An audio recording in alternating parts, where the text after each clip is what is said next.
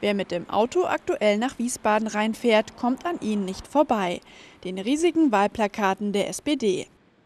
Im Landtag stellte Hessens Generalsekretärin Nancy Faeser jetzt die Schwerpunktthemen für die Kommunalwahl 2016 vor.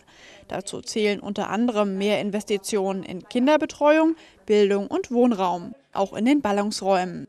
Dazu kommt das allumfassende Thema Integration, eine Gemeinschaftsaufgabe, die nur zusammen zu bewältigen sei. Daher lautet das Übermotto Hessen zusammenhalten.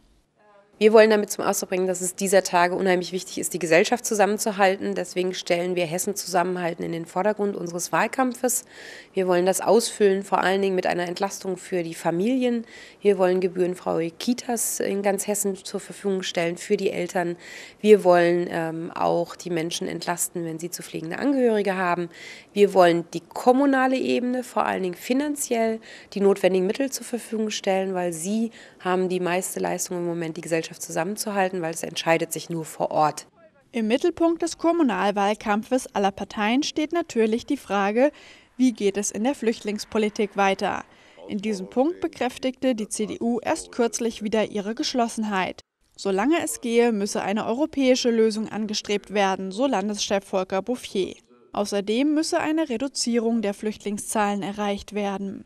Die Hessen-SPD hatte schon vor einiger Zeit klar gemacht, dass sie die Landesregierung bei ihrem politischen Kurs unterstütze.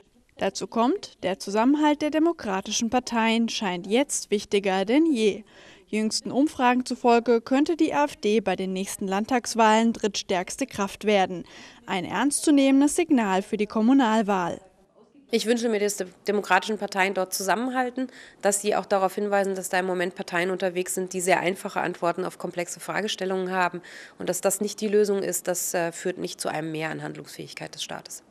Ein weiterer politischer Akzent die Stärkung der Kommunen. Dazu zählten, nach Ansicht der Sozialdemokraten, gebührenfreie Kitas ebenso wie bezahlbarer Wohnraum. Mit der Einigung zur Flüchtlingspolitik habe man in den Verhandlungen mit der Landesregierung bereits 50 Millionen Euro für 6000 Sozialwohnungen durchsetzen können, so die Hessen-SPD. Ob der Wähler die sozialdemokratischen Akzente überhaupt wahrnimmt, wird sich am 6. März zeigen.